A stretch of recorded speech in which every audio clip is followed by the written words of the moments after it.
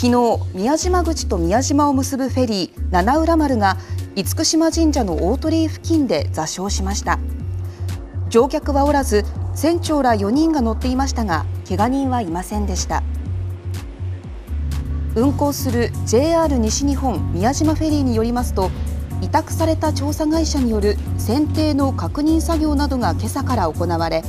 目視では損傷は見つからなかったということです。JR 西日本宮島フェリーは平常運航していますが安全が確認できれば明日以降七浦丸の運航を再開したいとしていて事故の詳しい原因をこれから調査するということです。